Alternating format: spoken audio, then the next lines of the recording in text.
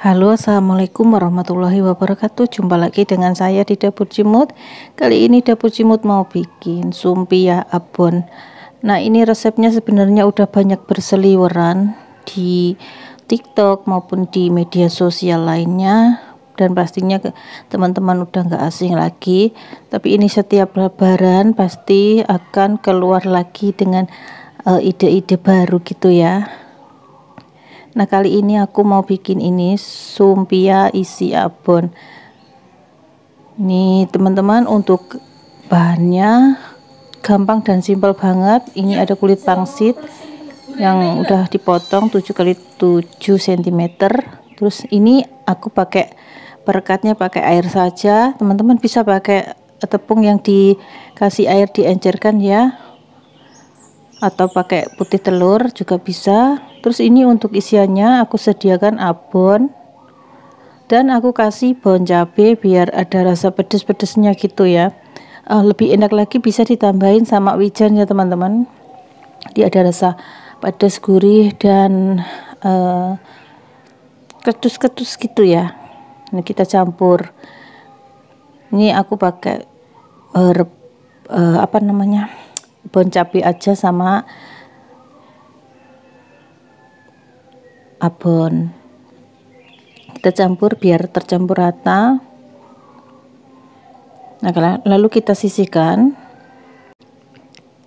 Dan ini teman-teman kulit pangsitnya kita potong seperti ini kecil-kecil ya. Uh, ukuran 7 kali 7 cm kira-kira terus kita olesi pakai air kita lem pakai air terus kita kasih isiannya yaitu abon. Terus kita lipat seperti ini kita lipat seperti amplop. Untuk lem perekatnya teman-teman juga boleh pakai uh, tepung atau tapioka yang dikasih air ya buat lemnya. Tapi aku pakai air saja. Terus kita lipat seperti ini kita bentuk seperti ini nah, bentuknya seperti ini ya. Kalau kurang rapi bisa dirapikan. Jadi seperti ini.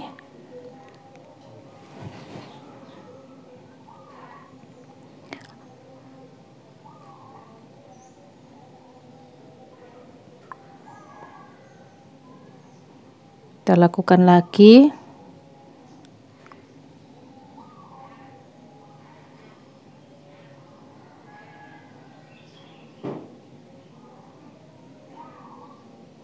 ini uh, pertama itu susah ya teman-teman. Nanti lama-lama juga terbiasa gampang banget. Atau seperti ini ya. Udah seperti ini lakukan sampai semua uh, kulit pangsitnya habis. Dan ini hasilnya udah selesai. Lalu kita akan goreng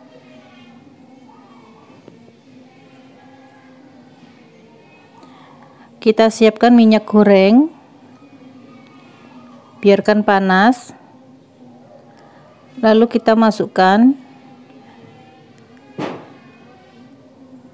kulit pangsit yang udah kita isi tadi. Minyaknya agak banyak ya teman-teman. Terus uh, apinya sedang. Pakai api sedang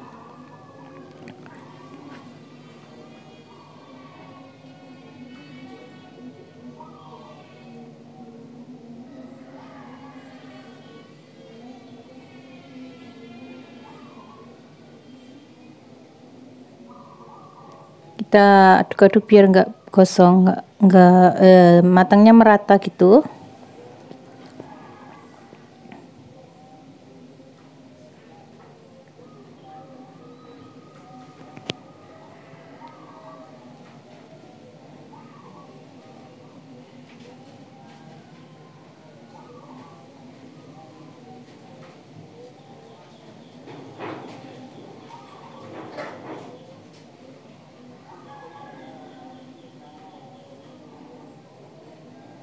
sering-sering diaduk ya biar enggak enggak kosong ya teman-teman.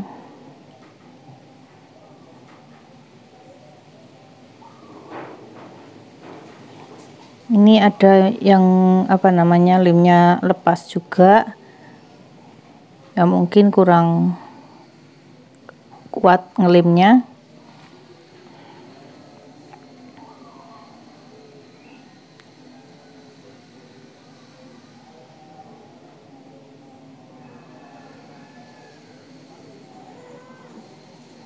nah ini teman-teman warnanya udah golden brown.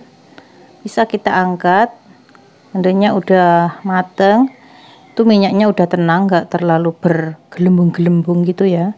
Ini warnanya seperti ini. Kita angkat. Dan kita tiriskan supaya minyaknya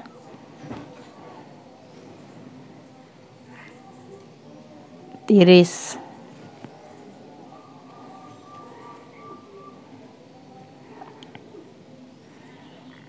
ini hasilnya teman-teman. Dan kalau udah dingin bisa dimasukkan ke wadah. Tunggu benar-benar dingin baru dimasukkan ke wadah biar gak gampang melempem ya teman-teman. Dan siap untuk uh, sajian lebaran atau hantaran. Nih hasilnya sangat kriuk banget cantik dan tentunya enak dan gurih. Oke teman-teman untuk videoku kali ini cukup sekian dulu. Semoga bermanfaat Jangan lupa aktifkan tombol lonceng. Terima kasih.